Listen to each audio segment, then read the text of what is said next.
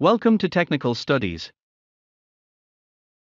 In this video, I will show you how to make a simple steel working table for fitters. The link to download this drawing is attached in the description. Cut the material as per the list. Mark lines 100 mm from the edge of the plate.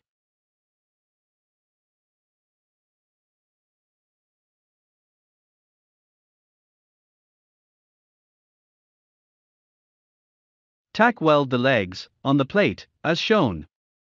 Make sure the legs are vertical.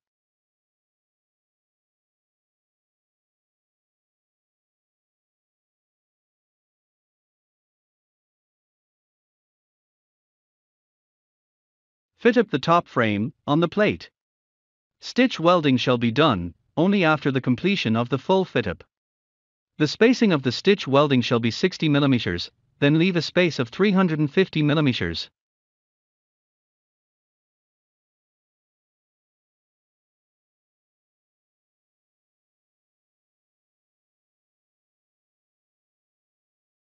Mark 750 mm on all legs, as shown.